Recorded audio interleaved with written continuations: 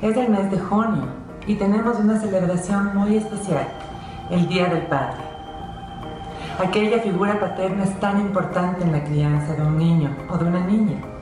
Es el primer héroe de un niño, dicen, y el primer amor de una niña. Es muy importante sentirse seguros, sentirse abrazados, sentirse también con una disciplina asertiva proveniente del Padre. Justamente en esta ocasión les voy a dar pequeños tips para que su labor como padre sea aún más efectiva y disfruten más de ciertos momentos especiales. Eh, les sugiero todos los días leer un cuento con sus hijos. 10, 15 minutos bastan y son importantísimos para que el niño desarrolle su imaginación, antes que nada tenga un lazo muy afectivo y muy íntimo con el padre, eh, desarrolle su vocabulario y sea cómplice de grandes aventuras. Así que dediquen 10 a 15 minutos a leer a sus hijos. Esto es muy importante. Por otro lado, también es importante que salgan de la rutina del trabajo algún día.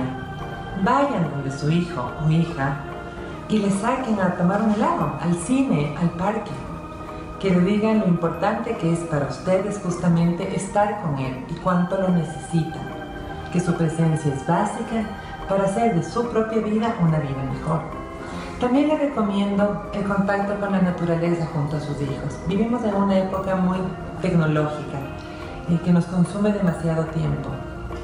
Les sugiero hacer caminatas en la montaña, eh, por ejemplo, si pueden ir al parque donde haya árboles, ir al bosque, eh, justamente experimentar con sus hijos lo que nos brinda la naturaleza, que es maravilloso. Eh, por otro lado, les sugiero, y más bien les recomiendo firmemente, es que abracen siempre a sus hijos, que les digan cuánto, cuánto los aman, lo importantes que son para ustedes, lo orgullosos que están de que existan y lo afortunados que se sienten de ser su padre. En este Día del Padre celebramos a esa figura maravillosa que es el papá, eh, que realmente es único. Celebramos al abuelo que es padre, al tío que es padre, a esa persona especial, esa figura paterna que cría un hijo ajeno. Celebramos a la madre que hace de madre y padre, y también a todos aquellos hombres que sueñan en ser padre.